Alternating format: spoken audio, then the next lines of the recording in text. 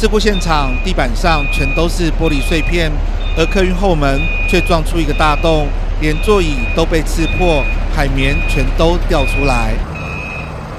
这起意外发生在十五日晚间，基隆暖暖区这辆七八七客运在行经八堵矿工医院时，因为司机没有算准好距离，直接撞上民宅外的遮雨棚，当下铁架刺穿后车门玻璃，还有一名乘客受伤。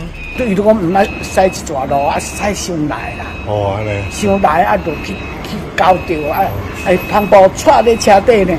客运行经本次的。水源路擦撞到民宅伸缩遮雨棚，导致遮雨棚毁损，穿到客运内部，伤及六十二岁的妇人。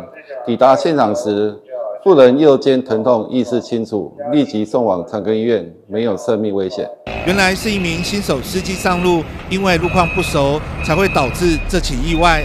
所幸车上其他乘客并没有大碍，后续客运业者恐怕要负起赔偿责任。